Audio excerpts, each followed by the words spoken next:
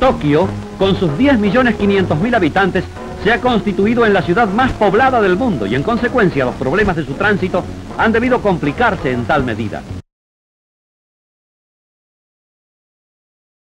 Enorme es la cantidad de vehículos que circulan permanentemente a los que hay que proporcionar las salidas y entradas más seguras y rápidas. Así es que el gobierno metropolitano de la ciudad, con el aporte del gobierno nacional, ha llevado a la realidad los que han sido proyectos de gran envergadura. Esto que se muestra con gran sentido de la perspectiva y del relieve espera los últimos toques previstos para antes de la iniciación de los Juegos Olímpicos que procurarán el mayor movimiento de todos sus tiempos.